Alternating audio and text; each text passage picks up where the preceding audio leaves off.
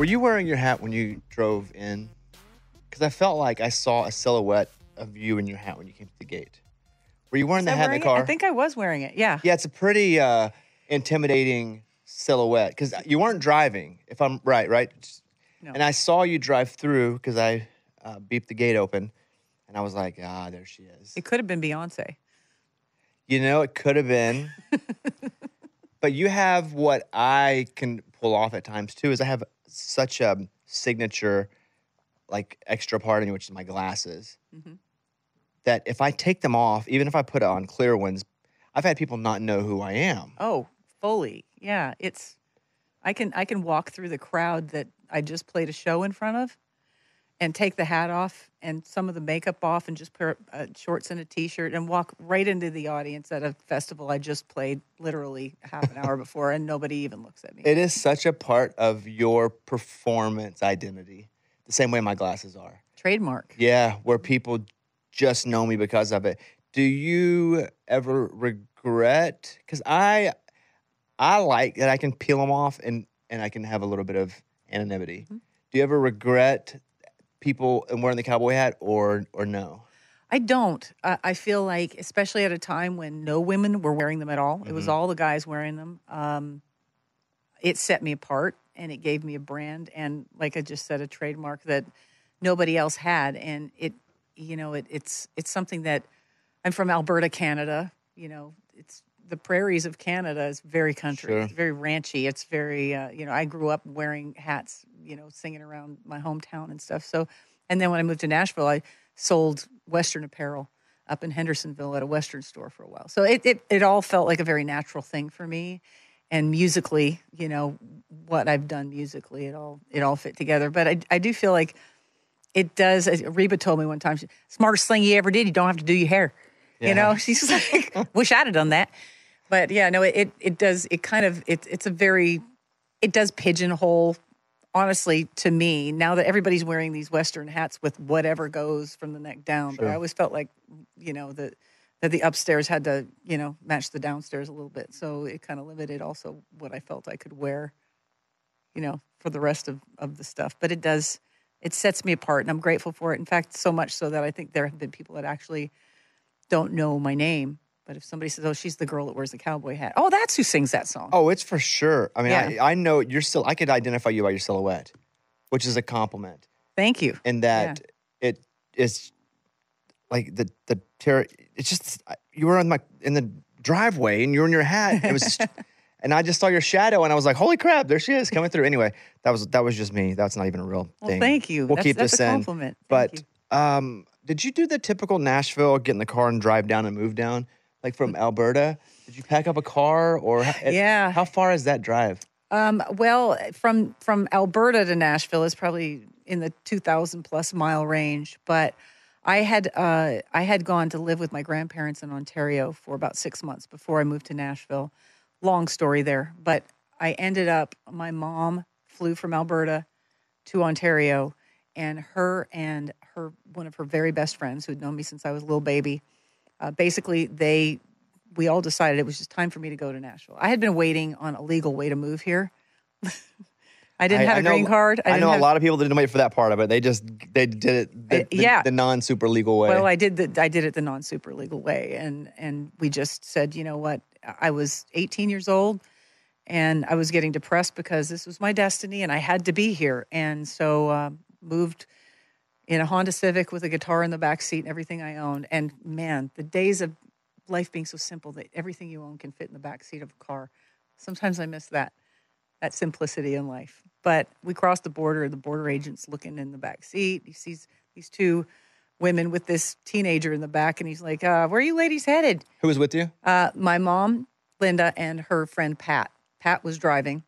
Pat's a solid friend then. She's solid until we found out she had pot in the car after we got across the border. You but know that's what? a whole other story. Oh my gosh. Could have derailed the whole thing. I don't think I've told anybody that yet, but I don't think Pat would care. It's legal in Canada now. Anyway, so uh, so we crossed the border, and the border agents looking in the back seat at the guitar, and and we're thinking we're thinking we're going to be in trouble because we know we're we have no intention of actually bringing me back to Canada. We're just leaving me there. Uh, and But you don't say that, right? You just, no, no, we're yeah. going shopping. Totally shopping, just for with your couple- guitar, just to- Totally, just to, yeah. play songs while you buy shopping, turtlenecks. Yeah. Going to, well, he said, "Where are you going?" And so Pat's like, "The Grand Ole Opry. We're gonna go see the Grand Ole Opry." So they they thought that these three broads are on the way to Nashville to do the Nashville touristy thing with the guitar, um, they they didn't. He didn't know that there, there were only two coming back. So when you're moving down, is it you're you're such a teenager, right? You're 18 Mm-hmm. or 19 years old, and where did you learn about Nashville? Was it the Opry? But for me, I live closer. I'm from Arkansas, so it wasn't that Nashville was thousands of miles away or 500 miles, depending on where you're coming from. Um, it was the state next door, but I really learned about it through watching TNN yes, mostly, right? a lot of that. and watching the Opry when it was on then, but the Opry would move around a lot too. Mm-hmm. My grandma was a big, big country music fan. How did you learn about it and know that you wanted to come here? Well, my grandparents on my mom's side were professional country music musicians. They played in local bands around Montreal, where I was born, and they had pretty much quit by the time I came around. And but it was it, they were always had guitars laying around the house, so I got a lot of it from them. And they were listening to. My mom taught me guitar. She played. She liked kind of more in the folk scene. Um, but I became absolutely obsessed with it when the Barbara Mandrell show came on, and uh, I started to really do the deep dive and go into that rabbit hole, and and then I discovered Ricky Skaggs, Highways and Heartaches record, and Reba McEntire, and then I went and got into all the Patsy Cline and Loretta Lynn and the Judds. Oh, geez, the Judds! I- I can't even tell you. Just obsessed with the Judds. So I was really, really into it. And Crook and Chase used to have um, this week in country music was a show. The. TV show, right? Yes, the TV yeah, I used show. to watch it too. It aired at oh my gosh, you don't look old enough to remember that show. I'm 61. You, you're aging very well. Thank you. Yeah. Crook and Chase, uh, this week in country music, you're familiar with. I'm I'm grateful that you know what I'm talking about because a lot of people don't. But it aired um, it aired through the American affiliate in Medicine Hat, Alberta, where I grew up at like two thirty in the morning, and I would set my alarm. And I was in school in junior high, and I'd set my alarm to wake me up at two twenty-five so I could watch the little black and white TV downstairs. I had a basement bedroom, and I would go sit by that little black and white TV and watch that show. Really? And then I'd go back to sleep. The days where I could just go back to sleep, I Same. miss those days, 'Cause I right? used to do that with David Letterman at midnight. I'd wake up, watch Letterman. Didn't even really get it. I was like eight, but I was like, that guy looks kind of awkward and he's funny like me. and if he can do it, I can do it. But I, I wouldn't really get it. Yeah. But I knew that that was kind of what I wanted to do. And then I would just go back to sleep. I think there's a thing that, like, in your brain, you wake yourself up to watch something that is helping shape who you're going to be and what you're going to do. Then you go back to sleep. I wonder if that just has some sort of it sinks in like a sponge into your subconscious, like in a different way. Doing something I, I don't know. I've I've never thought of it that way, but maybe we both kind of it just it got more ingrained or something. Did you? Because I, when I finally met Crook and Chase, and I've now met him a few times, but I had him and I did this with him for an hour. It was really one of the coolest experiences. oh yeah, they're they're great. great. And, you know, people that I looked up to when I was a kid, still today, those are the coolest people to meet. Mm-hmm. Because a lot of my peers now, they've made it and they're famous and they're rich. And yeah, you know, and you start to see it's just a, it's just a game, mm-hmm. right? Like you got to get lucky, you got to have a skill. We you do something that's oddly celebrated, like you've been lucky enough to do something that's oddly celebrated by our culture when it probably should be like brain science, but instead it's but but this like Mark Chesnutt came into my studio one day and I was like, oh my God. Or Crook and Chase were at my house and I was like, this is the craziest thing ever. Like that to me was like Yeah. a humongous deal to have Yeah. them when you were finally able to meet them. I would imagine because that was your taste of American country music in such a way. Like, was that super cool? I still get goofy around people like Crook and Chase, Wynonna, Mm. uh, Reba, Ricky Skaggs, like all those. It I don't know. It's just when you're forming. Yeah, You're maybe that's it. You're forming and It's just they become part of your DNA Mm-hmm. almost, and and so then it's it's it's like there's a reverence for those people that that you don't necessarily have for the more modern day, uh, and and it's nothing to be old curmudgeonly about. It's Sure. just it's that's your that's your touchstone. That's your that's your It's more romantic then. It It is Like it- when I was 12, things were larger than life. Mm-hmm. And it, it motivated me to make big steps into what I wanted. Now it's like, I'll just use Luke as an example. Luke Bryan okay, what? Drop off a casserole? Who cares? you know, I, I- I worked with Luke for like four years every day on Idol. You know, What are he- you talking about, Bobby? Yes, and he's like the best. but it's like that's that, that's just my friend. Yeah. But like Crook and Chase. Yeah. That that was really one of those for me that when they came over and I was able to just spend an hour with them. Again, I would tell them, I remember when you guys, you know, I did a lot of I remember when and didn't ask Yeah. a question.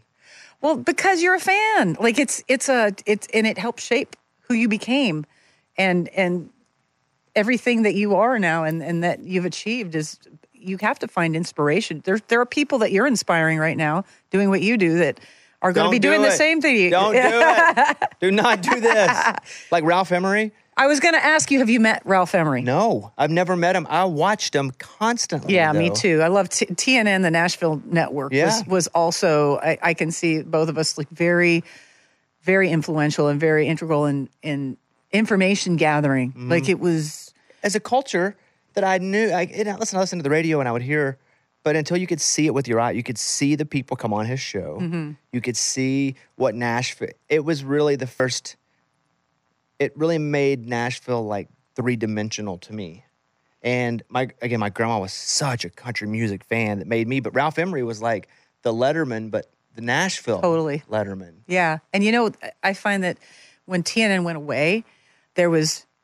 I got to actually do that show before it all went away. Uh, that's how old my career is at this point. But I got to do that show, and there was a span of time between TNN and when country became so hot now that the, it's a given. Everybody's getting the late night shows and everybody's getting the big network looks and all of that kind of stuff. Whereas there was a span of time where TNN wasn't there, and there was a span of time where country acts were kind of going into the abyss with as far as television and media and exposure goes because we were missing that element and that entity that TNN gave us back then. And it's only been, I think, you know, from in my mi- mind, the last 10 years or so that country's become such a driving format. Sure. And, everything that country acts are getting on all the stuff where it was such a hard sell for so long to get a David Letterman or to get the Tonight Show if you were a country act. And now everybody's on them. when you moved to town, did you take a job at first selling Western wear, or did you start playing like Tootsie's, or like what was the? I was couldn't the- get a job. What was the order of, Yeah. of how you made a living? Well, one needs a social security number and a green card to get a job, and I did not have either of those things, or nor a car. but you have one though now, so we can air this, right? um, I do Okay, just now, making yeah. sure. Yeah. No, I moved. I moved down, and my mom. I have a little. I had a little brother who was five years old. My mom could only come down to help me get set up. We had to find an apartment. We had to find a living situation. We had to find a cash paying job for me because I couldn't get work Right. legally. So it was, uh, it, and then she had to leave. So it, it was a lot of uh, very fast, you know, and this is before the internet. I mean, we were looking at classified ads in the newspaper to try and find a room for rent. Found a situation with this woman who was working uh, a shift at a factory. She was separated from her husband at that time. There's more to that story. But I rented a room from her um, at, a, at a place uh, in Tusculum, which is Bell Road and I still use GPS here, so right. it- so it- it's south. It, it's it's Antioch basically. So I rented a room from her in exchange for a break in the rent. I would look after her two-year-old son when she worked her the, the graveyard shift at the factory. So I had a bus pass. My my we found that situation, and then before my mom and Pat left, we got me a bus pass because I didn't have a car, so I had to take you know Nashville Transit, and we went to Tootsie's Orchid Lounge. We did a we went to the Grand Ole Opry and saw the Opry, which was awesome. Of course, we went to Tootsie's Orchid Lounge, did the Lower Broadway thing. Half of it was boarded up. There were people sleeping in the streets. it's before they made Nashville downtown uh, functioning again, right? Like inside. even functioning. It was Yeah. Skid Row. Yeah. The cops were everywhere. There were hookers. There was drug deals going down. There was blood on the sidewalks. It was dangerous. And the only people who went into Tootsie's were usually the Greyhound buses full of the elderly folks that were on tours and stuff. And they would go in the who didn't know midday. who didn't know any better. Right. They, but they would they would have a tour. You know, Yeah. this is Tootsie's Orchid Lounge, and there's the Ryman, and then they they breeze through there for 30 minutes and leave. But it was dangerous, and so my mom and Pat and I, I had to see it. We went down during the day, and and we went in, and because I I was this country music historian, I was reading all the books, and I'd seen Tootsie's and Coal Miner's Daughter, you know, all the scenes mm-hmm. with with everybody hanging out there. So we went in, and there was a guy singing, of course, my mom and Pat are like, ask him if you can sing. And they're trying to get me up there to sing. The place is completely empty. It's a thousand degrees in there, which I'm not used to at all. I'm still not. And not large, by the way. For the people just listening, they don't know. very It- small, Yeah, it's yeah. tight. It's like a Yeah. it's like a trailer, but a bar like the size of that. Yeah. It's like a shotgun. Yeah. Yeah. Doors open.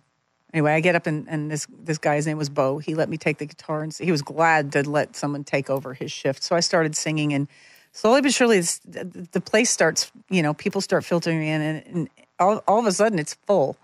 And the owner, who was Robert at the time, who became Robert's Rest, Western World next door, he owned Tootsie's at that time. And he said to the music director who was starting his next shift, he said, see if you can hire her. So my mom and Pat and I are From sitting right there. From right there. Yeah. So they offered me a job playing for fifteen one five dollars a day, plus whatever tips I made. And all these little local yokel guys, you know, that were musicians trying to make it in town. And there was all of this, I'll make you a star, kid. It was just, it was that kind Was of it grimy? character, grimy, Yeah. character, very, these characters that could have been in a movie somewhere. They're living in their cars and in the alley and telling me they're going to help me make it big. And one of them came up to my mom and said, uh, ma'am, whatever you do, don't let her play down here at night. You'll find her dead in the dumpster. Wow. Oh God! You and now your mom's got to go back to Right. Canada, leave her teenage daughter. exactly. What? So Pat, my mom's friend Pat, who drove us down, kind of convinced my mother that we needed to get me to Nashville because she had seen me and she's like, Terri, Terri's depressed. She needs to be following her. You've got her now. Let's take her now. Get on a plane. She did not speak to Pat all the way back to Nashville. Like it was a two day silent drive because she was scared absolutely shitless. Can I say that? You can say it. She was scared shitless, Yeah. like terrified that something was going to happen. Um, so Yeah, that's not what you want to hear. it was awkward. Yeah. So uh, I promised her I would not play uh, Lower Broadway at night. Can you imagine me standing at a bus stop and, at midnight trying to get back to 10 miles down there? It, the bus, it took an hour and 20 minutes one way to get down to Tootsie's from where I was living because it stops every Sure. five seconds. Um, so I wasn't allowed to play down there at night. And there was an odd time that they asked me to take a night shift because somebody didn't show up. And I, I didn't tell her. I said, I can only do this if somebody drives me and Yeah. drops me off at home. Like, you have to come get me. So Did they? They did. Yeah. The bouncer would come get me. I can't remember his name. Very nice man. How long of shifts did you play? Uh, four hours. And I would take, you know, I would, I would take a break every hour for 10 minutes or something. Did you feel like that was such an integral part of your musical journey in that you had you had to play four hours, Yeah. even if it's covers. You know, you'd read about I think the famous example is the Beatles when they were playing in like Hamburg, Germany, and they'd play for seven hours a night. And they were like, listen, all the things that we did, what we really became the artist that we are was having to grind out seven hours because we're having to play covers, we're having to quickly learn. Yeah. Uh, how, doing that for four hours, did you just learn how to be a bit more improvisational? Yes, and because I was solo, like this is just me and a guitar. Right. This was, but uh, Tootsie's didn't have a lot of bands back then. It was all solo artists. A, they didn't want to pay for a band, and it wasn't this big loud party scene that it is now. It was, it was a lot of tourists coming in, but you know, country didn't have the young college crowd like they did, that like they do now. So it, it was, and the guy who let me sit in on his set, it was just his, him, him and his guitar. So I would sit and I got get a lot of requests for Patsy Cline and Loretta Lynn and whatever was hot on the radio at the time. And I was playing Tennessee Flat Top Box, the Rosanne Cash version, and Randy Travis. Um, this is this is before Alan Jackson or Garth or Clint or Sure. any of that. So um, it was very much uh, the Judds and, and the early Reba stuff and classic country. Um, Did you kind of know what people were going to request? Like, because even though they were different people, usually it was the same, same group of songs. Right. And I had sat, you know, in, in my kitchen and in my bedroom in, in Alberta playing everybody's songs so much and learning so much. I was prepared. I had a plastic binder just full Mm. of lyrics and songs that, that I had been already singing. So I pretty much had a, a pretty good handle on it when I got that job. When did you start creating instead of perf- playing and performing? Because you're here and now it's time to be your own. Mm-hmm. When when did that start? I was uh, I was starting that back in Alberta. I was Really? you know dabbling in songwriting. I mean, and of course it doesn't have the creative community that Nashville does. So I was writing by myself, and you know, essentially. So I was um, I wrote a couple of decent songs when I was a teenager, and then when I got to to Nashville, I hooked up with a guy named Woody Bowles, who was a manager. He was one of the Judd's first managers with Ken Stilts, and he heard me sing, and he kind of directed me towards a couple of publishers that helped me put me with some co-writers and stuff, and helped groom me as a songwriter a little bit. And I and I wrote a few songs that were actually wound up on my first album for Mercury from from that time, and I uh, I had gotten married and I was able to actually I got my green card and I was able to actually start working real jobs. And I worked at Applebee's over on in, on uh, at I twenty four and and uh, whatever that road is over there. I'm, I'm all turned around. Nashville's changed so much I don't know where I am half the time. So I, got, I worked at Applebee's and bartended and had day jobs and worked at a boot store for a while and and he and I just kind of were trying to eke out a living. And I was I would go after my waitressing shift, and I'd go down to Music Row in my car that was I now had a car, blew smoke everywhere, but I had a car and and go down and I would write until about ten o'clock at night. So I'd go wait tables during the da- day, and then I'd go down to Music Row and do some writing and co-writing, and wouldn't get home sometimes till ten or eleven o'clock. So you're, if you're playing anywhere, like you're doing covers or wherever you do your tootsies, or so you're doing that. Were you writing at the same time? It's because again, that's two. It's two versions Yeah. of music, right? You're It having really to is. learn songs from other people so you can pay your rent if you don't get to watch the two year old or whatever, however old the kid is now, three or four. Um, but then at the same time, you have to go and then you you have to write. And again, different muscle. Yeah. They're very close to each Yeah. other. But were you able to do that? Were you able to play and do a bunch of covers to make a living and then write at the same time? Or did you have to separate them a bit? Oh, absolutely. And because a lot of the covers and a lot of the artists I were covering were inspiring what I was writing because they were influencing Sure. me in that music. And, and I kind of found my wheelhouse there and what kind of things I wanted to say and musically, musical range and melodies that, that really resonated with me. I'm not saying, you know, we all copy a little bit from this and that, but I call it more like finding inspiration. So uh, yeah, there were two minds, but I would throw some original stuff in the Tootsie set from from time to time. Would they like you to do that? Or were they like, just play the hits, kid? They, they would they they liked it because I would always also set it up and I wrote this song, you know, Yeah. and I'm an 18 year old drinking Diet Coke because I'm not supposed to be drinking, and you know, it's- it was it, it- in a way that they they also I think were enamored by this kid sitting down on Skid Row with a guitar, and, and I had a lot of protectors and people also, you know, kind of looking out for me. Um, that would sit down there and this one guy his name was sir lawrence was his nickname and he's passed on recently but he was this great big tattooed guy with an eight ball tattooed on the top of his head and he looked like he would just rip you apart he would he came in one day and he was sitting at the bar and he was like one of very few people there and i'm singing right to him and he's just got i started singing patsy cline and he just started bawling and tears are rolling down his face and he just became he was a fan and he became a protector and he said i, I need to you need to go and be singing at gillies up on music row. There was a gillies up on music row where all the, the statue of all the naked people are is right right there on that corner. And they had a beer garden and they had people singing for tips in there so he had me go meet the owner of that the, the music guy of that place so i went and played up there for a while too my very first set playing he made that garden. introduction. He made that introduction. He used to drive me. He started taking me home so I wouldn't have to take the bus here and there because he had a car or a van that he was actually living in. He would drive me home in the van. Wow. I know. And uh, Like, like awesome and also wow at the same time. oh yeah, it it was. I could yeah. It, there were characters at Gillies, and they had an actual parking lot there. So a lot of their entertainers were also living in the parking lot in their cars and stuff. Elvis impersonators. like I'm not kidding you, Bobby. It's it's there's just one guy. Yeah, he his name was Sonny, and he sounded exactly like Elvis, but swore that was his voice.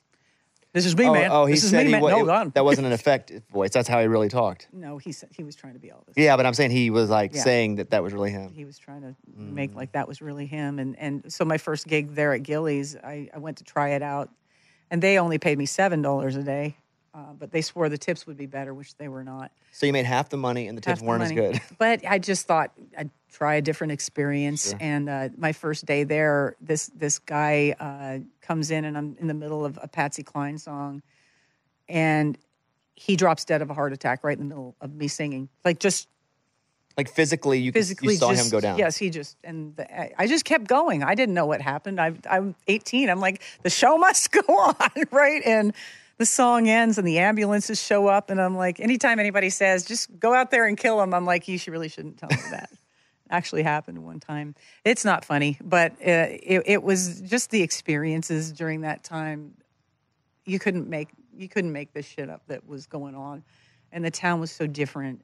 There was a spaghetti deli upstairs uh, above a wax museum. You, it's weird to That hear I you talk about it. back in the day because you don't.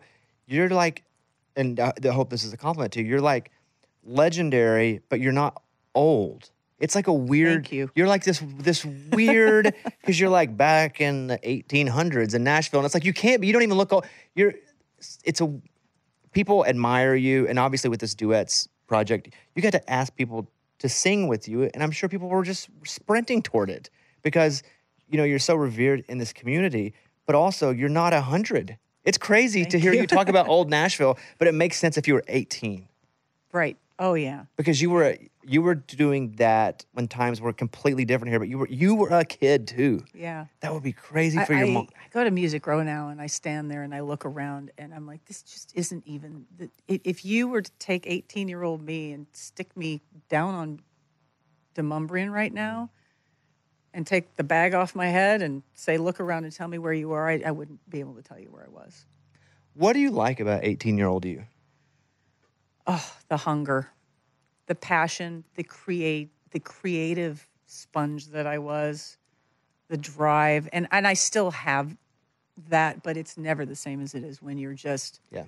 that that determination that I I want to I just want to just want a chance to show people what I can do. Why do you think you were so passionate about it? Who were you trying to, and maybe impress isn't the word, who were you trying to, to make proud?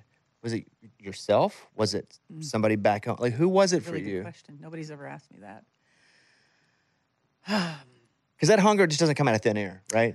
It doesn't. I, uh, I I moved around a lot as a kid, and I had a I'd say a, a challenging relationship with my stepfather. Not a super close relationship with my biological father. I mean, we're fine and everything, but I, I had some I had some tougher times growing up, and I think um, music was that one thing that anchored me in a way and gave me that security and that confidence that I didn't have anywhere else.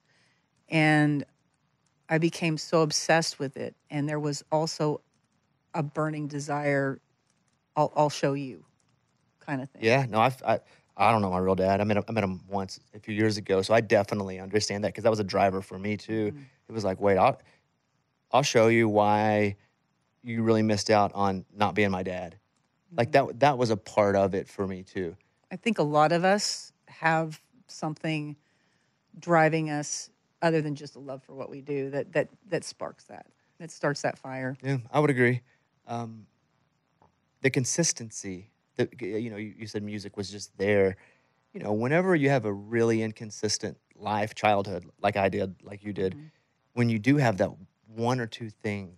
like my grandma was so consistent with me when she was with my grandma adopted me for a while too. When you know my mom was gone, I know my dad was. But anything that had consistency, like I still hold on to. Uh, like I'm the biggest Arkansas Razorback sports fan, but it's because I knew every Saturday, the, it didn't matter where I was living, there was going to be a game, and I could look forward to it. It was going to be on free. It's on free television, so that was consistent for me. Uh, there was music that was consistent for me because w- my life was not. There was no consistency about it at all. And so that why it's why today I still like hold on to those things. It's even like the people we were talking about a minute ago that we felt like we're famous when we were kids. Why we still Yeah. feel like it's so cool. there's a comfort in the in the Yeah. consistency of something like that. And and I said earlier um, in an, another situation something that really kind of struck me because you know your career ebbs and flows and you have ups and downs and you have self doubt and and even with success comes that well I'm not I'm I'm not the the top of everybody's mind anymore. And and you have to you know with that comes a little of that you know and you have to kind of navigate that emotionally. And it's not as easy as people would think it is but you know and I think a lot of artists go through the, this period of, do I matter enough to keep doing this anymore? Oh, for sure. I deal You with know. relevancy issues Relevancy, yes. constantly. We could have a whole therapy Just, uh, session con- today. I live in, in relevancy land where Yeah, it's like, me too. I'm not relevant anymore. This is I'm- Totally. yeah. Hundred How, percent. how do you deal with that? I'll tell you how I deal with that. Um, this year, I, it kind of it was it was an epiphany that came to me, and I started thinking back, and I started going way back, and to, and remembering that hunger, that kid that woke up to watch this week in country music and sat for hours and hours in her bedroom singing and learning new songs, dreaming about Nashville, crying because she wanted to just be in Nashville, just wanted a shot, wanted to be on the radio so bad I could taste it. And I'm like, I can't give up on that kid. I would feel like I was betraying her know if what's- you know I just did that. What's wild about you saying this is that me, uh, 10,000 feet up, looking at you and your career, I would see you and go, man, everybody loves her, massive success.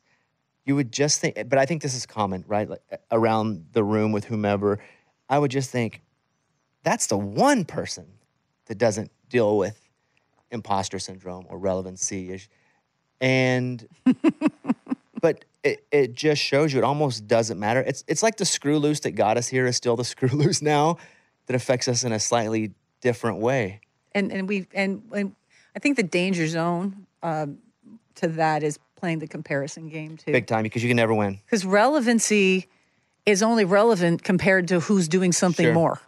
like, and there's always going to be somebody doing something more, or getting more opportunities than you're getting, or or being recognized more than you are. And you know, sometimes you feel like you're spinning your reels because you're working your ass off, and you're just like, does anybody care? Right. Does anybody care at all? Will they ever care again? And then if if you if you express that to somebody, they're like, They don't understand. Listen, how could you? Yeah, yeah, Yeah. It's just yeah, it's part of being human. It, it's that affliction, the human affliction. and even as a creative, it's you know if I have friends at work, and uh, most of my friends aren't creatives, which I think is a big deal. It's good for me because they can kind of mm-hmm. give me a a bit of a realistic view on what's really important in life, mm-hmm. and you know with those I can't really go. Well, here's the thing. Here's why I'm I'm upset.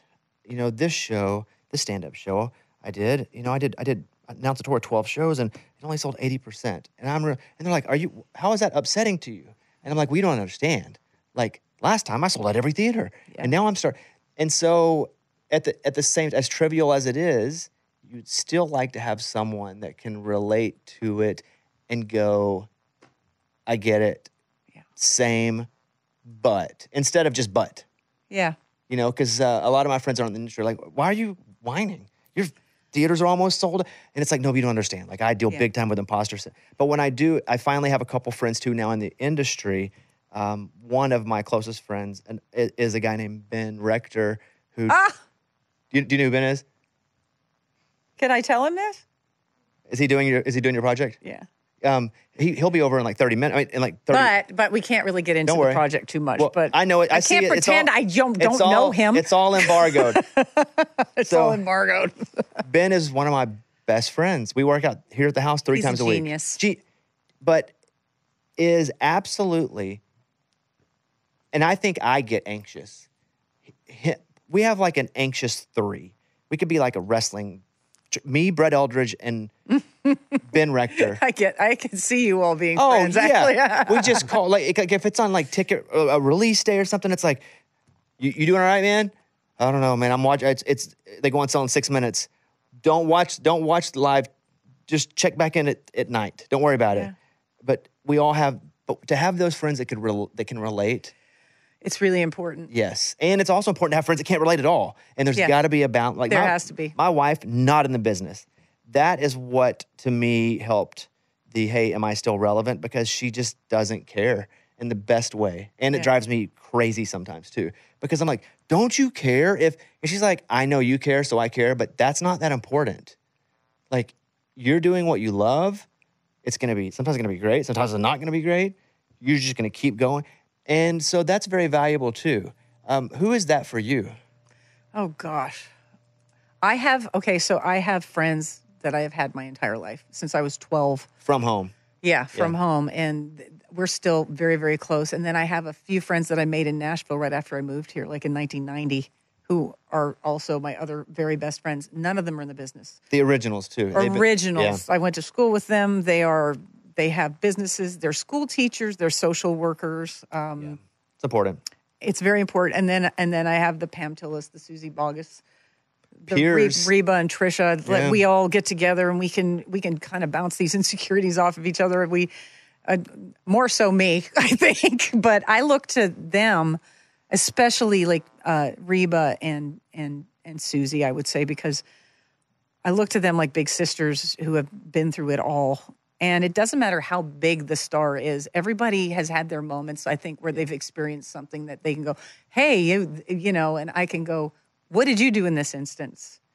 Or uh, like, like you got to have some of that too. But I, I think the balance is. I'm glad you have that too. I love You know, that. You have your history friends that have nothing to do with any of it, and then you have the people who have been there who can help help you kind of navigate the complicated emotional waters that we live in. Yeah, or just like swim beside me, even if it's not navigate. Yeah, yeah. Because Yep. there are times where Ben's like, ah, I don't know either, and we're just like, okay, well, we don't know together. Yeah. You know, because Yeah. it is, uh, it's a weird to get into a business where you are going to make a living creating something that you think is good enough for people to pay their money to watch. Because at the same time, you could be the most humble person, but if you don't have a bit of confidence, even an ego about what, and it is a weird juxtaposition of, uh, at times I have no confidence at all.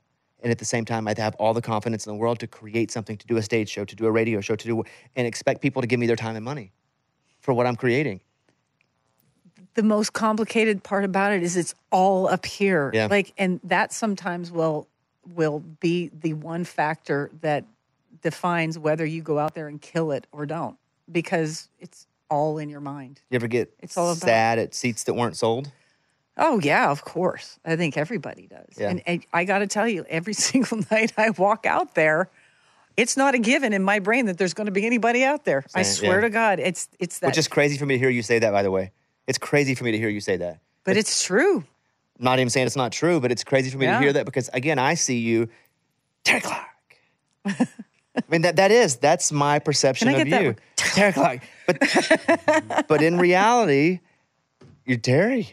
Yeah, and I have all the same insecurities and and that anybody has. I find that hard to believe that you have that. I mean, I walked in into your drove into your house today. I'm like, damn, Bobby Bones is Bobby Bones. Well, mine's mine's like secret though, you know. People don't know. Mine's Well, they do now. Well, mine's like, yeah. Well, they know from this, but it's like, yeah, yeah. I think we had again, we had to have something a little off for us to pursue a career in an industry where we want people to pay us for what we're creating with our minds, Mm-hmm. and that doesn't mean that that something off doesn't also like kick us at the same time. Do you feel like the confidence was greater when you were younger and you were going after it than it is after you've gotten it when you stop when you start the questioning yourself constantly because then you're is there a shift that happens? I think I was naive. I think I was brave, I had nothing to lose, and I was naive because I didn't know good or bad what what was out there. Mm-hmm. I just knew I wanted it, and I knew I didn't want to be where I was too. That was a big part of it, right? I, I didn't want to. yeah. wasn't the greatest where I come from, and so I had big dreams. And you know, if I had known everything, would I have still? I don't know. I think so, but I don't know. It was simplified. It Yeah. was just it was cooked down into this hmm and you didn't overthink anything. I just wanted to get out of that situation. I knew I, I could work harder than everybody else. I don't and didn't think I was the most talented, but I knew that I could probably strategize as good as anybody else. I had uh, strategies to live Yeah. for, for a lot of growing up. Um, but I do think that I, the, the more success I had, the higher my therapy bills got totally. because I started really questioning: Do I deserve it? What am I doing? Am I fake? I have imposter syndrome like crazy. Can I repeat? Then you're like, well, I don't want to not try as hard in fear of losing it. But then I start to question, well, why am I not going as hard? Because I'm because I'm gonna lose it. Well, then I will lose it. So yeah, it's a it's that When cycle. am I getting thrown out of the club? When are they going to find out? for sure? I feel like I've been robbing 7-Elevens for 20 years, and they haven't caught me yet, and I'm on the run. That's that's that's what it feels like. Oh man. Well, I, I, I, uh, it's. Thank you for being so vulnerable. I didn't know that about you. I just always assumed that you were just Look like a model, built like a bodybuilder. Yeah. yeah, I get that a Brick lot. shit house. Yeah, exactly. That's it. When did it's when did you not have to work service industry and you could just pay your bills by music? Oh my goodness. You don't really start making real money until about a year after your first hit. So, So, so I, wasn't publishing- waiting tables, But, but, a publishing deal, your first I had a publishing, publishing deal. Yeah, I got a publishing deal with uh, Sony Tree. were you able to quit working in all the other jobs or is your publishing deal just like partial of what you were making? I made three hundred and fifty dollars a week from Sony Tree, and I was able to quit my waitressing job and focus on writing. That's such a big time. deal. That's such a e- even if like you're making less Yeah. money, it's still such a big yeah, deal. it was a big deal, and I think that was like 1993. Uh, it was about a year and a half, two years before I got my record deal, and I was writing and writing and writing a lot. I was going down to the firehouse, the fire hall there on Music Row next to Sony, publishing and writing every single day. So how long until from when you moved here till you got a publishing deal? Uh, about six years, Wow, really? five five to six years. Yeah. Did, you ever doubt two, three years into it that, that maybe, man, you had this dream, but crap, it may not work. Yeah, out? it took eight years to get the record deal. So I was writing songs for a couple years before that, but during that whole time, yeah, I was. uh, It was. I was all of you know 22, 23, going well. If I don't get a record deal by the time I'm, I had this little deal I was making in my head. If I'm 28 Right. and I don't have a deal yet, I'm going to go and become a dental hygienist because it's a trade and it's sensible, and I'll make money doing that. But I, I I don't know if I ever truly believed that because you can't it was just a little game I was playing with myself because I, I'm Canadian. We're very frugal and, and very conservative about things, and everything has to be very practical. Like I can't just, you know, I've got to have some kind of a career if this other career doesn't pan out. And as a kid, I was going to go into law enforcement enforcement Really? before I before I was going to come to Nashville and chase the dream. So I was starting to go back to that Like what specifically? Like a cop or like Yeah. a really? RCMP. I don't, I don't know what that is. It's a Royal Canadian Mounted Police. I do like know the what that is when you say federal that. Federal police. Yeah, the ones on the The horses, Mounties, the uh, Mounties, the yes. cartoons in the red. Yes, like. They ride the horses. yeah, and they wear the red. the Is that, cartoons. Yeah. is that not it? Blame Canada. No, that's them. Oh, okay. Yeah, that, yeah, the Mounties. Yeah. Why, why law enforcement? Was there anyone in your family? No, I just wanted to. I wanted to make a difference in people's lives. I wanted to. I loved uniforms. I just something. Look what I wear. Mm-hmm. I liked dressing up. So uh, no, I wanted. I, I and also I wasn't super academically gifted. I had to work really hard to get B's and C's in school because we moved so much. I was moving to different schools all the time. It was hard for me to cut a groove in a school and really, you know, Hard to get comfortable with people, much less. hard to get making new friends and Yeah. then losing friends and uh, we we just moved and we moved back and forth across the country a couple times and it, that part was difficult but um, so academically i think my grades suffered for that and you have to have you know decent grades to get into university and college and and, and be able to do that and, and i knew i probably wasn't going to get there so i started and, and I was passionate about it. I wanted to be a cop, and I thought it would be a great career, something I could do and retire and be able to retire at a decent age and have a good pension and all those sensible, practical things. Very sensible. Yeah. Yeah. So, but that all went by the wayside after Barbara Mandrell came on TV. I was like, okay. That was really the flash for you. Like you always loved it, but until when you saw the Barbara Mandrell show or Barbara Mandrell herself, that was what really told you, oh, I, I have to do this. It started. It started the wheels turning. yeah, that's how David that. Letterman was for me. Yeah, it started that that path, and then the deeper the hmm. rabbit hole got, I was just I was just never coming out. And How many times did you watch Coal Miner's Daughter? I've probably seen Coal Miner's Daughter upwards of fifty times. Really? To the Have you met Sissy Spacek? I've never. Oh, actually, I'm lying. I met Sissy Spacek at Mary Chapin Carpenter's wedding. That's a whole. Uh, I know, right? that- and Dave yeah. Matthews was there too. Wow. I know. I just remembered that. I totally had forgotten about that. Yes, I did meet her. Boy, that was a surreal moment. Did you tell her I watched you 50 times in Coal Miner's Yes. Yeah. Yeah, I did. I did. But I was still in shock because we almost died in a plane crash on the way to that wedding. We were stuck in. I flew with some people on this uh, puddle jumper with props, and Blake Chancey and I were, were like holding on to each other for dear life. It was bad weather. I'm just, yeah, that was not a good flying experience. But it was a lovely wedding, and I got to meet Sissy Spacek. Did you meet Dave? I did in the parking lot. Yeah. Did he say, "Oh, Terri, nice to meet you"? Oh, so much to see, Terri. He was very nice. Yeah. Yeah. Yeah. He didn't crash into me, but he was yeah, yeah. so I I know we're I'm it's still again we're not talking about a lot of it, but because there's telling me it's a lot of this is embargoed, whatever the heck that is. We've already let the cat out of the Well, bag a and couple and, times and here, we but won't cat out of the whole bag, but again, they're they're giving they're grimming me. The PR people are going, "You're a bad girl." no. I, You're uh, this is what I'll say then, and I, I'll also cut this if you'd like. When I mentioned earlier that people really look to you as inspiration, I think this unnamed project that may be happening is an example of that. Thank you. Thank you. I do, uh, because that wouldn't happen, or you wouldn't get yeses, or you wouldn't get. A- it just wouldn't happen if that wasn't the case. I that all is wonderful to hear. Thank you. Do you believe it though when I say it? I don't know that I ever I know, believe it. I know. you know what I mean? It's that that could, could you logically though could you pull pull yourself out of you and if let's say it were me and i was like hey i'm doing this comedy uh, big comedy special and i've got like this person who said he's going to do it with me and this and she said she's going to do it could you see that they're only doing it because they find some value in doing it with me because they like what i do Mm-hmm. could you see that if it were me yes. yeah okay that's all Definitely. so that's what i see with this i'm not even saying what it is Right. but And I hope we can actually come back and talk about For sure. more. Yeah. Because this is I love talking to you. I'm saying things I've never said to anybody. Like, I'm, what's with the vulnerability today? Oh my gosh, well it's like vegas it's You- retrospective. You know how they pump oxygen in? right? We have Xanax there. and it kind of takes you down a little bit Can I and makes move you loose. Yes. so you six years until your publishing deal, and then a couple years after that until you got your record deal. Mm-hmm. Did you ever get into the mindset of I'm just gonna be a writer? Because a lot of my friends start to think that. They're like, you know what?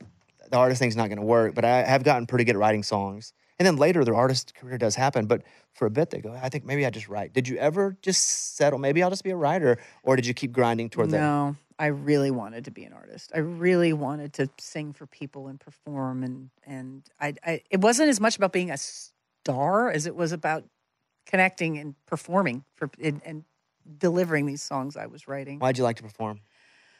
It's a connection, and and it's a it's an approval. It's an approval, an instant approval rating, Yes. um, and it's it, I- that goes back to that. I think that wanting to be loved and liked. It's exactly what mine is. oh, that it's love. It was me trying to find love. Mm-hmm. Even being funny as a kid. Yeah. It was me trying to find love in a way in a place that I couldn't. Yeah, in a safe place. And i people are, if you're good, they're not going to throw eggs at you. You're going to find that love. And I knew I was good enough for that. Um, but I just, yeah, just being a writer was never, it wasn't, I wasn't as passionate about writing as I am about performing. Writing for me has always been a vehicle to performing. I needed the songs to Sure. go make the records to be able to go out and and I've always been a very project oriented songwriter. It's I'm not somebody who just writes all the time. Did you have a mentor here? A Did mentor. you? Like uh, when you moved to town that you could just call on your landline? Mm. My mom was my mentor. I got to say, you know, she was she was my biggest champion. She was my inspiration. She I was closer to her than any human. Is your mom still alive? No, she passed away. How long ago? 13 years ago. She was 60 and she died of a very, very rare form of cancer. Oh, that which just killed me. And that, thank you. Uh, that, that changed. I had to really sit down and take stock and like, what would my mom want me to do? Because I felt like I'd kind of lost half of, half of this team that we were up until that point. You mean after she had passed? You had to kind of re like- take, yeah. Like, do I, and I just went right back into doing what I do. I'm like, I, I I'm honoring her by doing what we, what we we both sacrificed. She let her 18 year old kid go to Nashville. Like the sleepless nights that woman must have had. Oh man. but you know, she didn't say you have to come home. I would call her, you know, collect. I'd call her a lot, and uh, one time I got off at the wrong bus stop on my way back from Tootsie's, and it was blazing heat in the summer, and I was, you know, head to toe in cowgirl clothes and boots, and standing there holding a guitar at the the Hardys at Harding Place and and Nolensville Road, and I got off at the wrong stop and I kept waving the buses that would come by down. They wouldn't stop. They would, that wasn't their stop. There wasn't that. Finally, one stopped. And I said, I don't know where I am. And I was sweating and I, I was in tears. And he finally said, You have to wait three more buses and then this bus will come by, you know. And this, he's just opening the door and looking at me. And I'm standing there with a guitar. And I got home from that. And I, I said, I called her and I said, I don't know if I can do this. I was just absolutely hysterical and in tears. And she said, You can come home anytime you want to come home. But I just want you to think about when you're 50 years old and you remember coming home and not taking this shot. I want you to be okay with that decision. And I didn't go home. I like she had to she was devil's advocate. She never told me I couldn't come home, but she she also knew how badly I wanted it and that when it, a moment might have just been an emotional temporary thing. Which was a very selfless thing for her because you Mhm. know she'd have loved to have had you home. Yeah. Like that'd have been the best thing in the whole world for you to be at home. Yet she still said, Mm-hmm. Hey, think about this because she knew what you wanted. You wanted to stay in Nashville. Yeah. And she didn't say, You should stay. She said, Think of it. I mean, yeah, it sounds awesome. What was your mom like? Oh, she was. My mom was uh, very focused. When she made up her mind about something, she would just do it. Like very focused, very determined, very strong, but also very kind and very sweet. Um, supportive, encouraging. She was my very biggest cheerleader, and and when she died, there there, there it was you know, I went right back to work pretty quick, and I think I needed to because I don't. I- It was either I'm gonna I'm gonna keep I'm gonna keep pushing, and I'm just gonna do what I do, or I'm just gonna I, I may never get up again. So I just kept pushing through. Do you feel my, when my mom died? Because my mom was 46 or 47 when oh, she died. So sorry. Oh, That's yeah. Horrible. That's so, horrible. but it's but you know, I also can sit here and talk with you about it from a place of empathy more than sympathy, which I would rather talk from a place of Mhm. understanding, right? Because Mhm. we get to uh, relate. And but I- I probably jumped back in way too quick. I don't think I allowed myself to mourn at all. And then I think over like the next five to seven years, it kind of trickled out in weird ways. Just like something would trigger it. Did your mom get sick, or did she die suddenly and unexpectedly? My mom was a drug addict, and she died Oh. Just from years and years of like meth and substance abuse. Did you have any idea it was going to take her life? Um, she had been in and out of rehab a bunch, but I mean, I never thought she would die. But she wasn't s- super healthy. I mean, she had me. She got pregnant at 15, so it wasn't like the easiest life for her. So I don't know that I was shocked, but yeah, I was surprised because it wasn't that she was super sick. I think it was just yeah. a Oh. partial, like probably too much at that time, like it, and then partially her body just not being able to hold on. But I, I remember I was working, I was on the air, and I got a call from my sister. Nobody ever calls me during the show because they know I'm pretty locked in and focused. And she was like, "Mom's died," and I was like, "Wait, what?" She said, "Yeah, mom died," and I said, "Okay, let me call you back." And I just finished the show because I didn't know what to do. So I stayed for like two hours and just finished the show. And did, I told Amy, who's my co-host still to this day, those are all my same people 20 years ago. Wow. And I was like, "Hey, I'm gonna keep going." But my mom died, and and I remember Amy crying the whole time. And me, I, I didn't because Wow. I, I, I the only thing I knew was to push You I compartmentalized. for sure. Had to learn as a kid even. So it wasn't because I was strong or cool. Yeah. Um, if anything, I kind of wish I could have felt, but you know, went did the funeral arrangement, went right back to work, and then it was, I could feel it like the next seven or eight years, probably just trickling out of me. Where I wish I had taken a little time to mourn wholly. hmm Where I don't know, I don't know, I don't know. Looking back, that I made the right decision doing that. Uh, You you how how quickly until you went back to work? My mom died in April, and I was back at work in June. And my brother, who works on oil rigs, he's an oil oil guy. He he's younger. He was only he was so young when she passed away. He was only 27, and he went to Brazil to work on an oil rig. And and he he actually. Um, he processed more than any of us. He really mourned, and he, he had a very hard time with it. But my process was, you know, I mourned. We had things to arrange. Things had to, you know, I'm, Yeah. I'm a distraction No, no, same. queen. Like I just, Did the same thing. yeah. Then went back to work Mm-hmm. and, and then, you know, and then I'm moving again and then I'm renovating another house. Then I'm making another album and then I'm back on the road again. Then I'm writing songs for this next album. And then I got to put that. It's been like, you know, I'm, I'm still wondering if I'm just going to absolutely fall apart one day because I've just stayed so, I just, you know, you keep pushing and stay so distracted, you know, with whatever it is, relationships or moving or projects. And, you know, do you ever,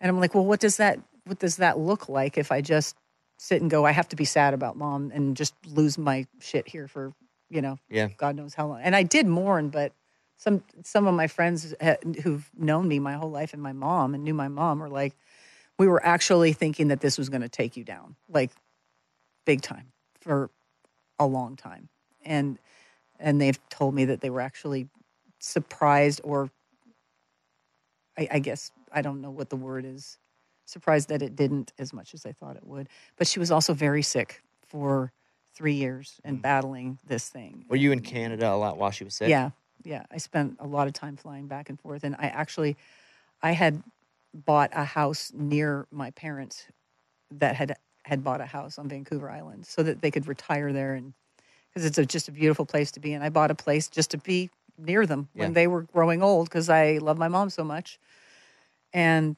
you know, so I I had a place there, and I was able to be there quite a bit. Took quite a bit of time to go back and forth and and be with her, but yeah. My favorite part of this, my favorite story here is you being at that bus stop, calling your mom. Your mom would have loved to have had you home, but she loved you more than she would have loved having you home.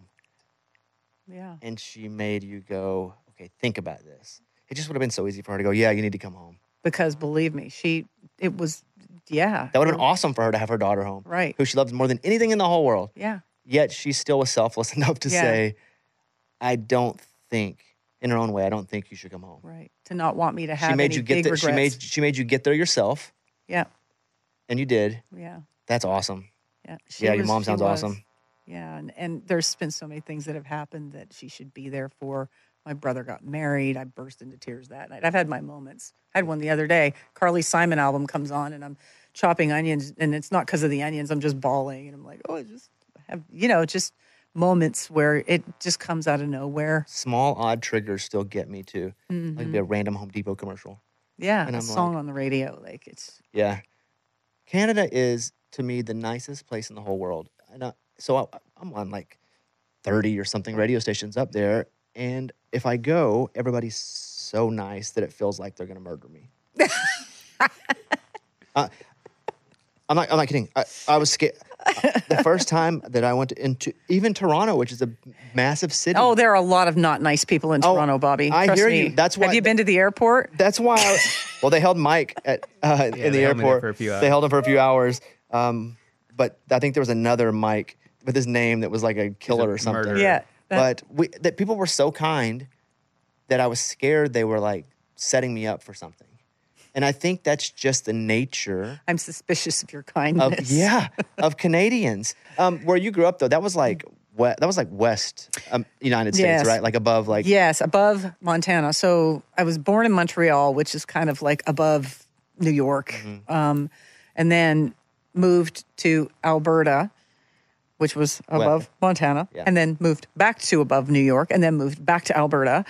Um, it, it- we zigzagged across the country a couple of times when I was younger, but I spent the majority of my formative years, I guess, from 10, nine, nine years old to 18 in Alberta, in Calgary and, and Medicine Hat. Medicine Hat's a cool name for a town. It is, isn't it? Yeah, it is. I have a, a lot of friends and even family that are that live near Native Americans, and and my wife's from Oklahoma, and so she's um, partially Native American too. And her some of her friends back home have the coolest names, like Medicine Hat, John, John Medicine Hat. Oh, all the towns up there. I mean, there's Moose Jaw, there's Medicine Hat, there's Pincher Creek, there's there's all kinds of Fort this and Fort that and Prince The town that Regina makes me laugh out loud. Well, you know what? The city that rhymes with fun, they I call know, it. But and, and, and I told jokes people never end. I told people that's what was on a sign there, and nobody believed me. Well, I, could- I don't know that I can even tell some of these stories on the air because I'm sure Regina gets so mad about it because it's it's just like it's I every time I play there, my band's American, my crew, everybody. I, it's the jokes leading up and leaving. I'm just like, okay, we got to get off this train. It's just, come on. But for How many how many Regina jokes do you guys have in you? You, It never ends. see that itself. It's just funny, right? I know. How many do I have in me? Do you fly in and out of there very often? I know. Yeah. No. It's, Never see, I'm not even going to do it because I it's, it sounds pervy when I do it. When you do it, It, it does sound pervy. Yeah, Um. So okay, t- 20 years at the Opry. Yeah, that's crazy. That's that's awesome. It is. It is awesome. And it's it's so funny because uh, Trisha Yearwood's celebrating 25 years this Mm-hmm. year. Pam Tillis is celebrating 25 this year, and I'm celebrating 20. And like we're all Opry members and we're all friends. And it's just, it's bizarre that I get to have friends that are Opry members and that I'm celebrating an anniversary. I get to be an Opry member. 20 years as a member of the Opry. That's so cool. I can't even, I can't even believe I am an Opry member. Did you Talk know about was coming? Did you know they were going to invite you? Uh-uh. No, I had no idea. I had no idea. And my and they had my mom had just been in Nashville. She would come down and stay for a month. My nieces were here and we you know, all the visit family. And and she would come stay for usually a month and then she would fly home and she had just done her month that she does once a year and she'd been she'd flown home and 2 weeks later I'm standing on the stage and she comes walking out with this sign and I just turned around and went, "What are you doing here?" Wow, your mom. They flew her. That and she didn't say anything about it. Mm-mm. her and Steve Wariner came out with the sign that had the date that they were going to induct Oh me on my it. god, that is awesome. So something big was happening, and I was in shock. I think it was just, I just can't, I can't even believe I get to play the Opry, let alone be a member and walk on the stage. I get so nervous, Bobby, every time.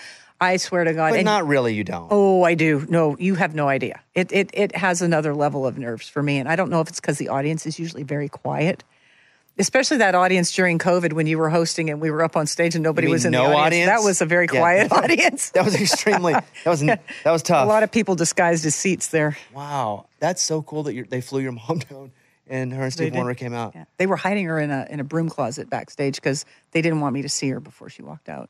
So she said, "I could hear you walking up and down the oh, hallway and talking, and I couldn't come out and say it. I, they were telling me to just stay in this this janitor's closet at the Opry." That's so cool. And they must have obviously known how much she meant to you. Oh, of course. Which is why they made the big deal. My mom was around a lot of that stuff, and she even acted as like a little bit of a personal assistant for me for a while. And every manager I hired back then, I made sure they met my mom because I wanted to get. She was a good judge of character. She had a good intuition about people and trustworthiness. And I think my current manager even had to meet her. Poor Clarence. I never say poor, poor Clarence for the record. Poor Clarence. Never, you know Clarence. I do. Yes. Okay. So, uh, tell, so what are you going to do on the road? Are you doing? Are you doing sh- a bunch? Of shows? A bunch of shows? of shows this year. Yeah, it's. I, I took last summer off. I toured with Reba McEntire last year, which was fantastic. What'd you think about her great. national anthem? Oh, she killed it. She kept it true. I think the national anthem should, unless you're Whitney Houston, you know, and can actually land on the mat every note you hit. Like, but Reba just did. She did it the way she would do it, not trying to be somebody else Mm-hmm. Yeah, doing it. you're right. And so she nailed it. And and the poise and confidence under pressure is. She's always had that. I want half the confidence she has. Does she have it though, or does she make us think she has it? Because she is awesome. Well, I I wonder if she goes home and is. she's a great actress too but i i mean i i when she said when when when she said she told me she was going to get to do the national anthem two weeks before they announced it because i was at a at a chili cook off at her house and i said oh my god i would just piss my pants and she said me too and i'm like you will not she was just so she's just like are you just trying to make me feel about better about my lack of confidence by saying that but she got up there was just like it was just amazing seeing how the grace under pressure that like we all hold ourselves to the Dolly and Reba gold standard. I don't know the situations they've I mean Dolly that that thing the cheerleader thing I mean my god.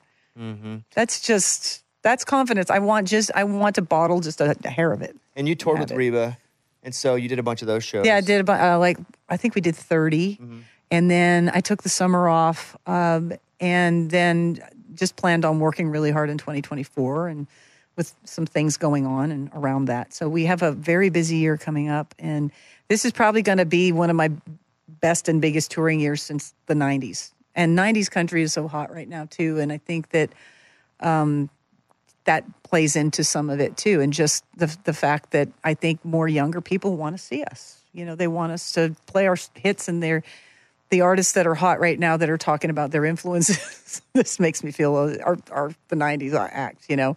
They're calling it the new classic format, which is like, doesn't seem that long ago to me, but I guess it was.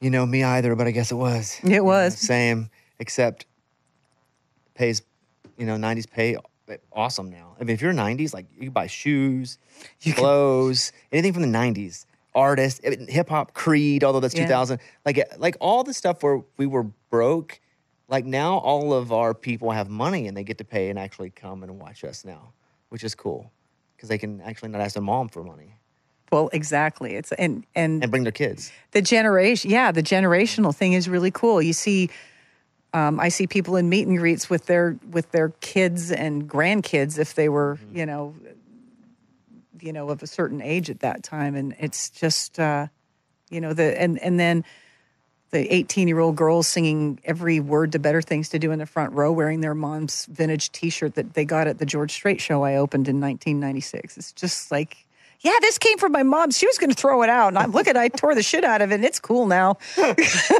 i i put some bedazzles on it they tie it and they put Well, let they me decorate it finish with. I'm going to ask you about Toby to kind of wrap this up. oh man Um, you, you know, with Toby a bunch too. Like, what? Give me a Toby story memory.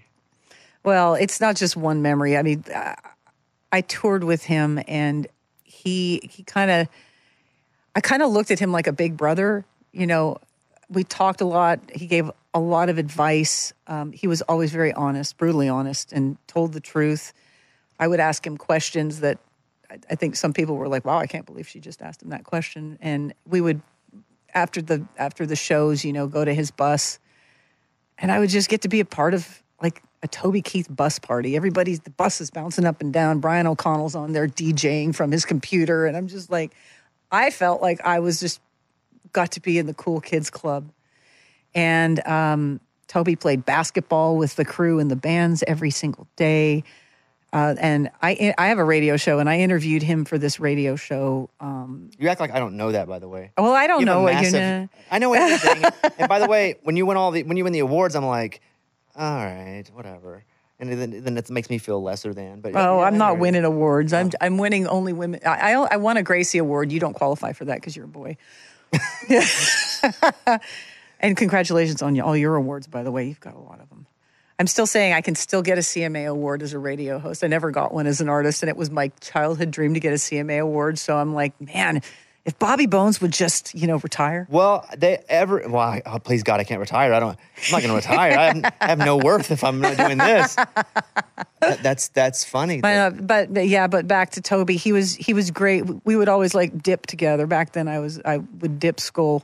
oh, And I'd, I know I'd walk on the bus and he'd he'd hand me a, a solo cup with a napkin in it, That's and and he'd borrow one from me, and my I'd borrow one from him, and just stand there talking just about everything. And I remember getting really hammered with Dean Dillon on his bus, Mm. and I don't even remember getting back to my bus. And Toby said, "I watched you walk back to your bus to make sure you were all right.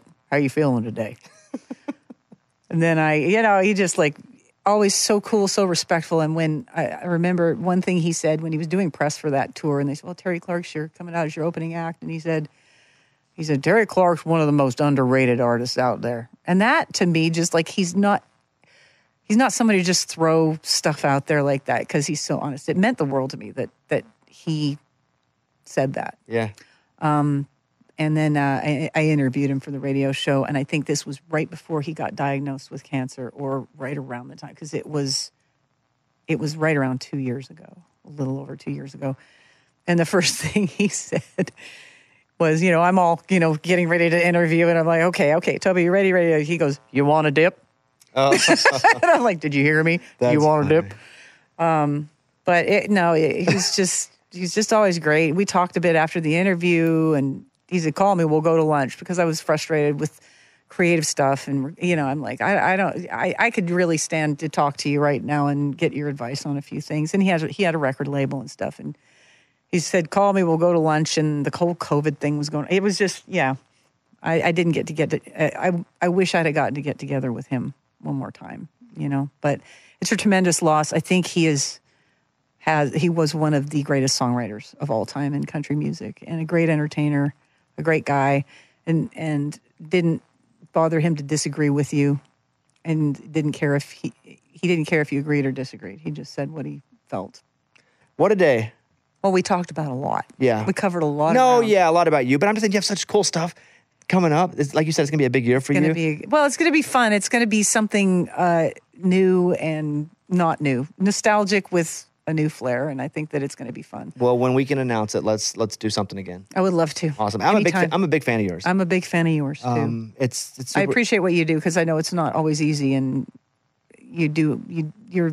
I, congratulations on all your success. You've Thanks. you've you deserve it. You're you're like a you're an, you're a mogul. I am consistent. You're I show up. comfortably consistent. I show up.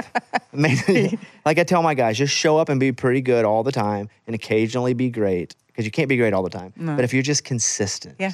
like that's what I try to do. It- consistency is key. Absolutely. it. Um, on Instagram, Terri Clark Music. On TikTok, at Terri Clark. You have a, you have a big TikTok following. I do.